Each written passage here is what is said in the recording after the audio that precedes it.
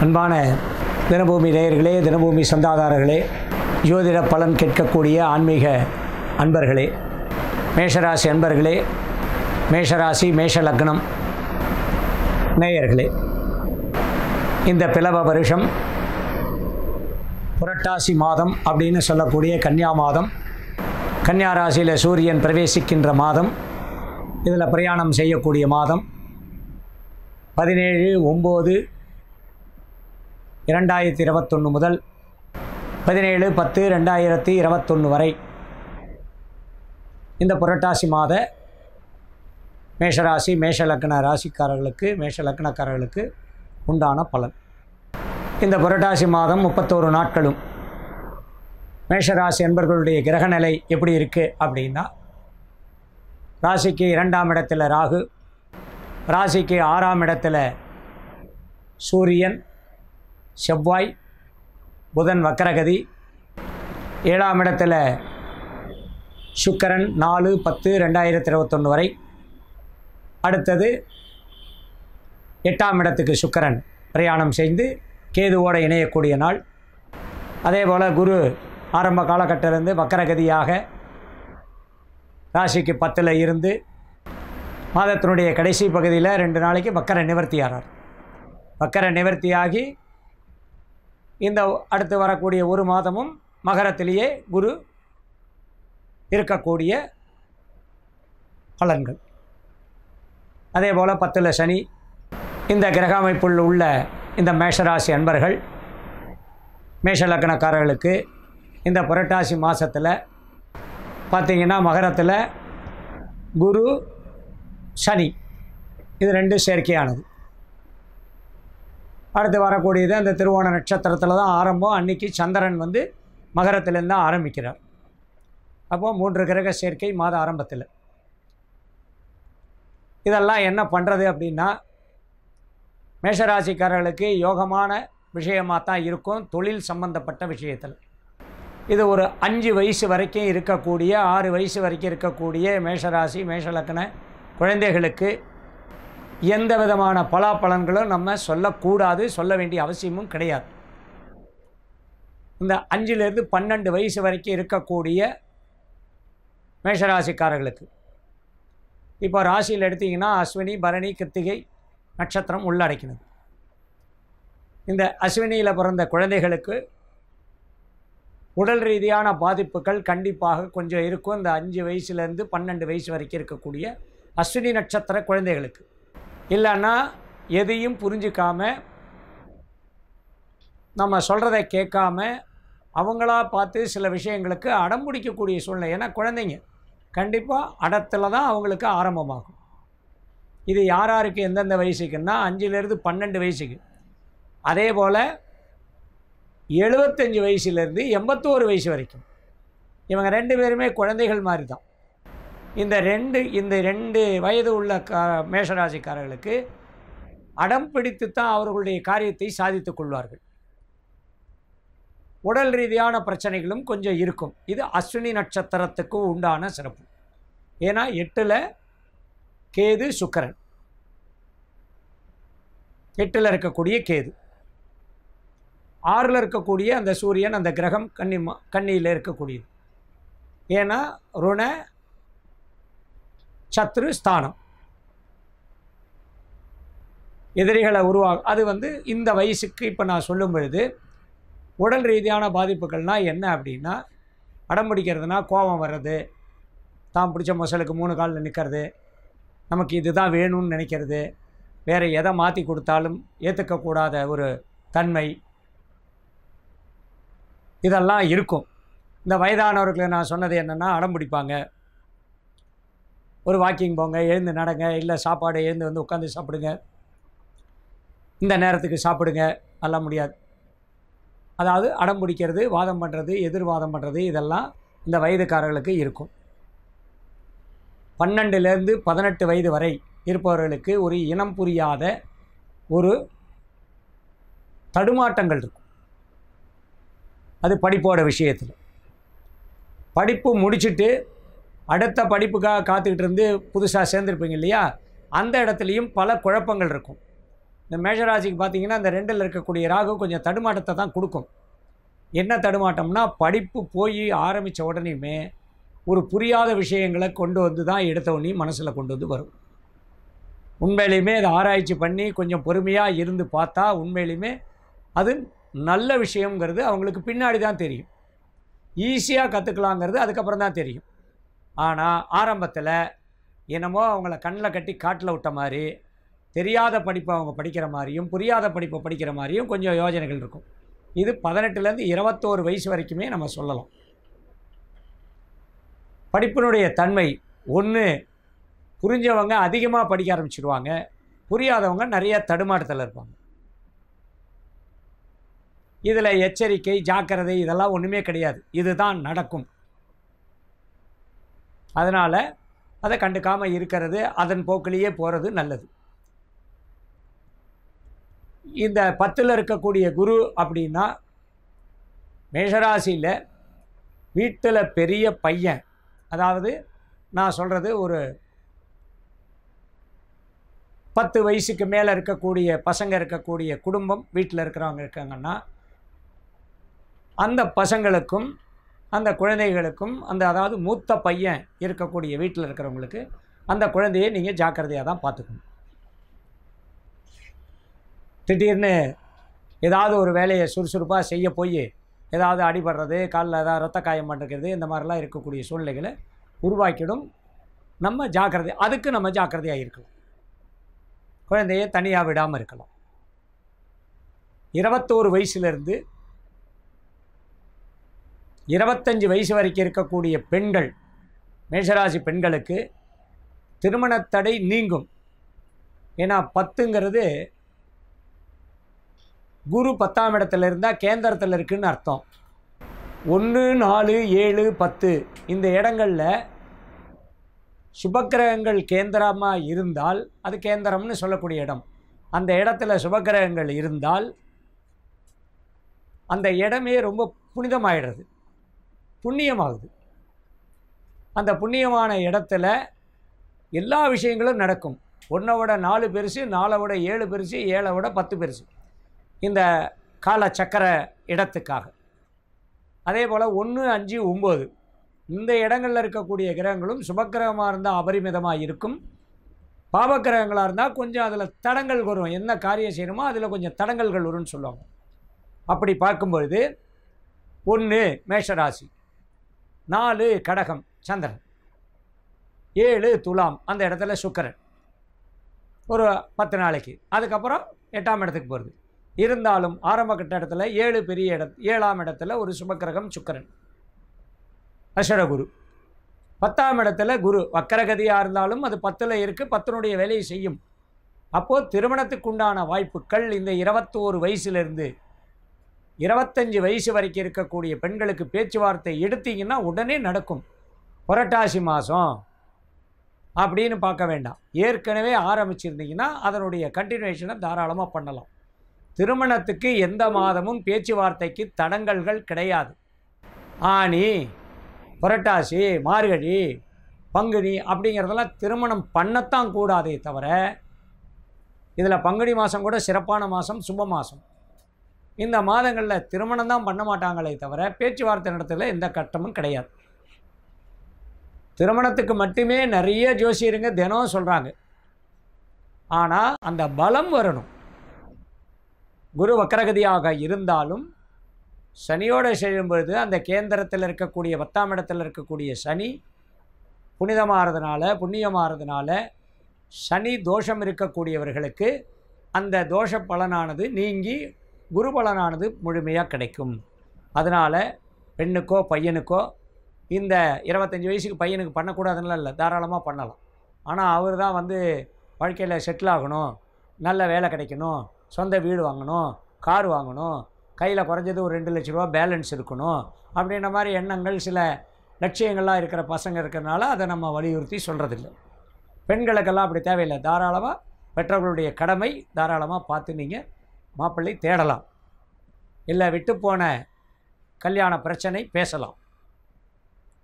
இருபத்தஞ்சிலிருந்து முப்பது வயது வரை உள்ள தடங்கலான திருமண யோகமும் கண்டிப்பாக மேஷராசிக்கு கைகூடும்.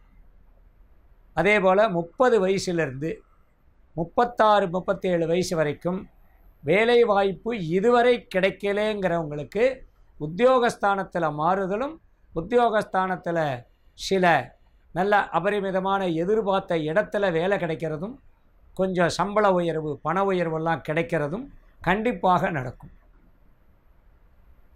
எப்போவோ நமக்கு கிடைக்க வேண்டியதெல்லாம் இப்போ கிடைக்கிறதுங்கிறது ஒரு கணக்கு. அது அடுத்து குரு பயிற்சி வருது. அது பதினோராம் இடத்துல வந்தால் அடுத்து மேஷராசிக்கு ஒரு வருஷமும் பல நல்ல பலன்கள்லாம் இருக்கும். அது பதிமூணு பதினொன்று அது அப்புறம் குரு பயிற்சி பலனில் பார்க்கலாம். இந்த ஒரு மாதம் சமாளித்து இருந்தால் அடுத்த மாதம் இன்னும் இதை விட உங்களுக்கு சிறப்பான வேலைகள்லாம் கிடைக்கும். இருந்தாலும் அதுக்காக இந்த மாதம் சும்மா உட்காந்துருக்க வேண்டாம் சோம்பேறித்தனமாக இருக்க வேண்டாம். ஒன்று அடுத்தது பார்த்தீங்க அப்படின்னா முப்பத்தி மூணு வயசுலேருந்து நாற்பத்தி மூணு வயது வரை உள்ள ஆண் பெண்கள் வேலைக்கு போயிட்டுருக்கிறவங்களுக்கு குடும்பத்தினால் சில எப்போவோ விட்ட பிரச்சனைகள் எப்போவோ ஆரம்பித்தது நடுவில் சரி சரின்னு போனது. இந்த மாதத்தில் திடீர்னு ஏதாவது ஒரு சிக்கல் வரும். சகோதர தந்தை மாமனார் கொழுந்தனார் இந்த சகலபாடின்னு சொல்லக்கூடிய இந்த பொண்ணு எடுத்த குடும்பத்திலையும் பொண்ணு கொடுத்த குடும்பத்திலையும் இருக்கக்கூடிய உறவுகளால் சில பிரச்சனைகள் வம்பு வழக்குகள் நிலத்துக்காக பாக பிரிவினைக்காக இல்லை எப்போவோ செஞ்ச பாக அந்த பாகங்கள் பிரித்ததில் சில சங்கடங்கள் உருவாருது புதுசாக ஏதாவது பிரச்சனைகளை கொண்டு வந்து நம்மக்கிட்ட பேச்சுவார்த்தை நடத்துறது. இதெல்லாம் வர்றதுக்கு உண்டான வாய்ப்புகள் இருக்குது நான் சொல்கிறது நாற்பத்தி மூணு வயசு வரைக்கும் இருக்கக்கூடிய அந்த நபர்களுக்கு. இல்லை இது வரைக்கும் ஏதாவது பிதராஜித சொத்து பூர்வீக சொத்து தான் பாகம் பிரியறது. பிதரார்ஜித சொத்து அப்படின்னா என்ன அப்படின்னா தந்தை சம்பாதித்த தந்தையினுடைய விஷயத்தில் அவருடைய சொந்த சொத்துக்கள் அடுத்தவங்களுக்காக கொடுக்கறதுல சில பிரச்சனைகள் உருவாகும். அதனால் கொஞ்சம் பொறுமையாக இந்த மேஷராசி மேஷ லக்னம் பொறுமையாக இருந்தால் பலன் அமோகமாக இருக்கும். நீங்கள் வாயே திறக்கக்கூடாது கண்டிப்பாக உங்களுக்கு உண்டானது கிடைச்சிடும் குறுக்க நடுவில் பூந்தீங்கன்னா தான் சில சிக்கல்களை உருவாக்கும். இது ராசிக்கும் அதுதான் லக்னத்துக்கும் அதுதான். அதே போல் நாற்பத்தி மூணு வயசுக்கு மேலே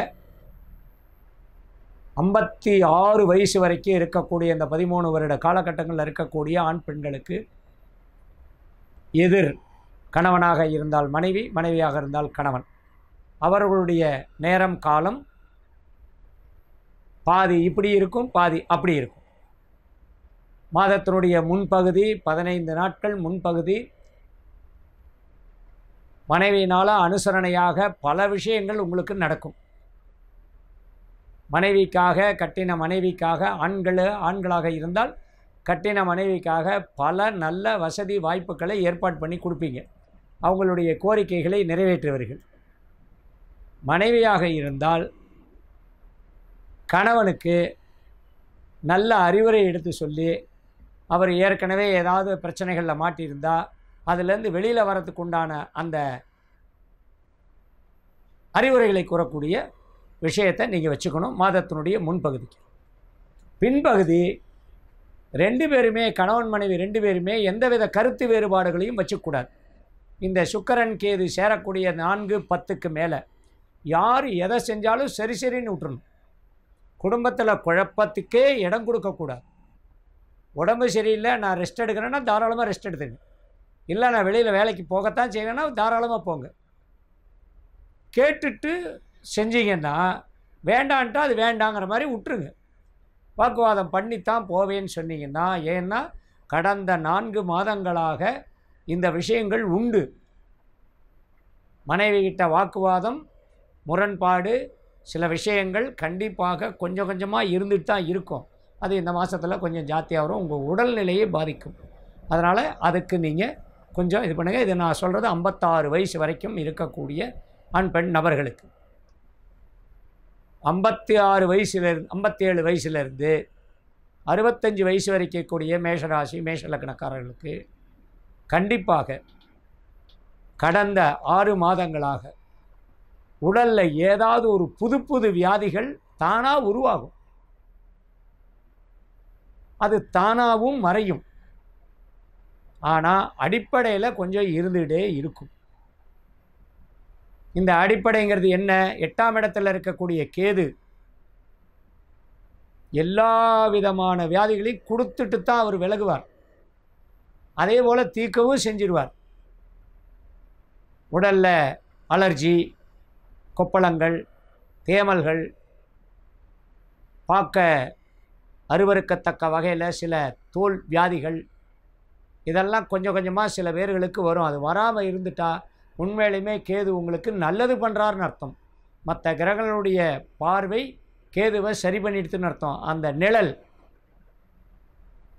அந்த நிழலில் உங்களுக்கு உடலில் எந்த வியாதியும் இல்லைன்னா உங்களுடைய ஜாதகம் வலுவான ஜாதகம். உங்கள் ஜாதகத்தில் கேது வலுவாக இருக்காரு அப்படிங்கிற மாதிரி கணக்கு. நல்லது பண்ணுறாருன்னு கணக்கு. ஏன்னா அஸ்வினி நட்சத்திரத்துக்கு அதிபதி கேது. அவர் எட்டில் இருக்கார். ஜீரண உறுப்புகளில் பிரச்சனை தோலில் நிறைய காயங்கள் வடுக்கள் உண்டாகுது இரத்த காயங்கள் வடுக்கள் உண்டாவது.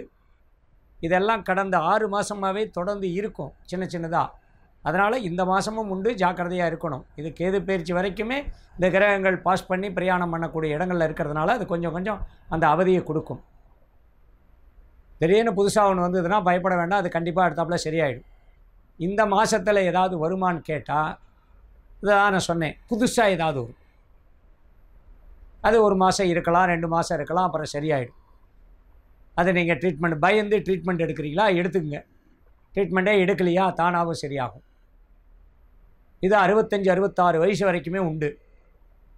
அறுபத்தேழுக்கு மேலே எழுபத்தஞ்சு வயசு வரைக்கும் கூடிய மேஷராசிக்காரர்களுக்கு பாடி செக்கப் அசுவனி பரணி நட்சத்திரம் இரண்டு நபர்களுக்கும் இந்த நட்சத்திரக்காரர்களுக்கும் உடல் ரீதியான சோதனை பரிசோதனை அவசியம் தேவை.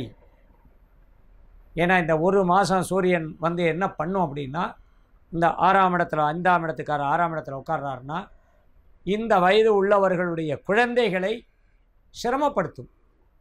அதனால் அதுக்கு நீங்கள் என்ன பண்ணணுன்னா முன்னெச்சரிக்கையாக பரிசோதனை செஞ்சு என்ன பிரச்சனை இருக்குங்கிறத தெரிஞ்சு அதுக்கு தகுந்த மாதிரி நீங்கள் ட்ரீட்மெண்ட் எடுத்துக்கிறது நல்லது. அவர்களுக்கு சிரமத்தை குறையுங்கள். இல்லைன்னா உங்களால் அவங்களுக்கு சில கட்டங்கள் வரும். இதில் நல்ல பண வசதி இருக்கிறவங்க சமாளிச்சுக்கலாம். இந்த காப்பீடு திட்டம் இருக்கிறவங்க சமாளிச்சுக்கலாம். இல்லாதவங்க என்ன பண்ண முடியும்? கண்டிப்பாக சில சிக்கல்களை அனுபவிக்கணும். நம்ம வந்து அனாவசியமாக இந்த வயது உள்ளவர்கள் தங்களுடைய குழந்தைகளுக்கு அந்த சிரமத்தை கொடுக்கக்கூடாது ஒரு பிரச்சனைனா உடனே அதுக்கு போய் தீர்வு எடுக்கிறது தான் நல்லது. இல்லைன்னா உங்களுடைய இயற்கையான சுபாவம் வர்றது வரட்டும் பார்த்துக்கலான்னு இருந்தீங்கன்னா அது உங்களுடைய சௌரியம் எச்சரிக்கையோ முன்ஜாக்கிரதையோ கிடையாது. வருவது வரட்டும். நான் ஏற்கனவே சொல்லியிருக்கேன். வருவது தானே வரும். வருவது தானே வரும். அப்படி இருந்தால் பரவாயில்லன்னா பரவாயில்ல. ஏன்னா ரெண்டில் இருக்கிற ராகு அப்படி தான் பண்ணும். எல்லாத்தையும் அபரிமிதமாக அதிகமாக காமிக்கும். அப்புறம் ஒன்றுமே இல்லாமல் போகும். குடும்பத்துக்குள்ளே சில சிக்கல்கள் இருந்துகிட்டே தான் இருக்கும். காத்தால் சுபமாக பேசுவீங்க. நல்ல சந்தோஷமாக பேசுவீங்க. சாயங்காலம்னா கொஞ்சம் கோப தாபங்கள் என்னன்னு தெரியாமல் உங்களுக்குள்ளேயே ஒரு சங்கடமான ஒரு சூழ்நிலைகள் உருவாகக்கூடிய வாய்ப்புகள் இருக்கும். அனுசரிச்சிருங்க. இது யாருக்குன்னா அறுபது வயசுலேருந்தே நான் சொல்லுவேன். அறுபதுலேருந்து அதாவது இந்த ரிட்டையர்ட் லைஃப் பீப்புள் இருக்காங்க பார்த்தீங்களா? அறுபது வயசுலேருந்து நல்ல நிலைமையில் இருக்கக்கூடிய எழுபத்தெட்டு வயசு வரைக்கும் இருக்கக்கூடிய நபர்களுக்கு இந்த பிரச்சனைகள் உண்டு. அதுக்காக உங்களுக்கு ப்ரெஷர் இருக்குது சுகர் இருக்குது அப்படி இப்படின்லாம் கணக்கெல்லாம் கிடையாது. இயற்கையிலேயே சாயங்காலம் ஆனால் உங்களுக்கு ஒரு விதமான பயம் இருக்கும். அதுதான் அந்த ஃபோபியான்னு கூட சொன்னாங்க நான் கேட்டேன். அந்த மாதிரி இந்த ஃபோபியாங்கிறது என்னென்னா எல்லா விஷயத்துலேயும் உண்டு. அதை மட்டும் சரி பண்ணிங்க. எண்பது வயசுலேருந்து எண்பத்தாறு வயசு வரை இருக்கக்கூடிய மேஷராசிக்காரர்கள் கண்டிப்பாக ஒரு ஆயுஷோமத்தை பண்ணிக்கிறது நல்லது. அது வரும் காலங்களில். இந்த மாதத்தில் எந்தவித பிரச்சனைகள் இல்லாமல் இருக்கிறது இருக்கிற வாக்கில் இருங்க. கொஞ்சம் உடற்பயிற்சி செய்வதன் மூலமாக உங்களுடைய உடம்பை நீங்கள் கண்காணித்து கொள்வது நல்லது. இந்த வியாபாரம் செய்யக்கூடிய அனைத்து வயது மேஷராசிக்காரர்களுக்கும் இந்த மாதம் ஒரு சுமாரான மாதமாக ஏற்கனவே என்ன நடக்கிறதோ அதுதான் நடந்துகிட்டு இருக்கும் ரொம்ப யோகமெல்லாம் ஜாஸ்தி இருக்காது ரொம்ப கீழே போ ரொம்ப நஷ்டமும் இருக்காது. அதே போல் வண்டி வாகனங்கள் மாற்றுறது அதெல்லாம் மாற்றவெல்லாம் கூட வேண்டிய விஷயங்கள்லாம் எதுவும் தேவையில்லை. பொறுமை காப்பது இந்த மாதம் உங்களுக்கு ரொம்ப ரொம்ப அவசியம். ஏன்னா வலுவில் தேடி எந்த கட்டத்தையும் நீங்கள் எடுத்துக்க வேண்டாம். நல்லதே நடக்கட்டும். மேஷராசிக்காரர்களுக்கு முருகனுடைய கடாட்சம் கிடைத்தால் இந்த ஆறாம் இடத்தில் இருக்கக்கூடிய அந்த கிரகங்கள் சூரியன் செவ்வாய் புதன் வக்கரகதி திரும்ப நேர்கதியிலையும் இந்த மாதம் பூரா இருக்கிறதுனால குளிர்ச்சியான விஷயங்களை அதிகம் நீங்கள் தேடிக்கொள்ள வேண்டாம் உட்கொள்ள வேண்டாம் உண்ண வேண்டாம். அப்படி இருந்தால் நல்லதே நடக்கும். வாழ்க வளம் வெஜ் மற்றும் நான்வெஜ் சமையல் குக்கிங் ரெசிபிகளை தமிழ் குக்கிங் ரெசிபி சேனலில் கண்டு மகிழுங்கள். சேனலை காண கீழே உள்ள லிங்கை கிளிக் செய்யுங்கள்.